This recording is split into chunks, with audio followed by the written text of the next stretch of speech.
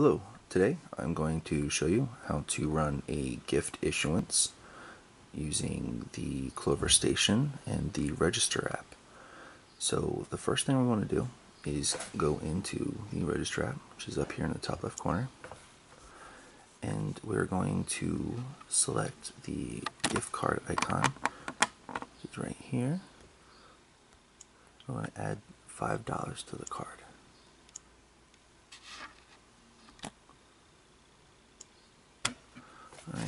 So once we have the item in our cart, we're going to click the green button here in the bottom left corner. It says pay.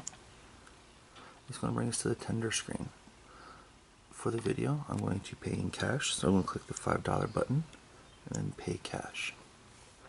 After you hit that, the, the pay with cash button is going to switch you over to the Factor 4 app, which is going to allow us to put in the gift card number. So I'm going to do first is at the bottom of the screen, there's the button that looks like a down arrow. So I'm going to go ahead and click that, which is going to get rid of the keypad. And in the bottom left corner, there is a button that looks like a barcode. See it here? I'm going to go ahead and click that.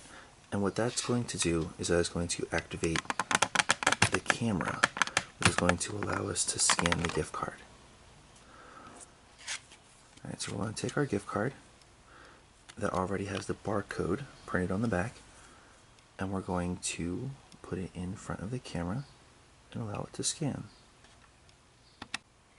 Okay, once the card has scanned, you will see the card number blinking in the top right or in the top box there. So next thing we want to make sure is that the transaction says gift issuance there on the left. The amount is $5, so we want to make sure that that box has the $5 populated there. And if you have a box here that says type, you want to make sure that it is USD for US dollars. Alright, once all the information is entered correctly, we can click the green button for run transaction. And once the screen switches back over, you know that the transaction has run has run successfully and your gift card has now been loaded with the funds.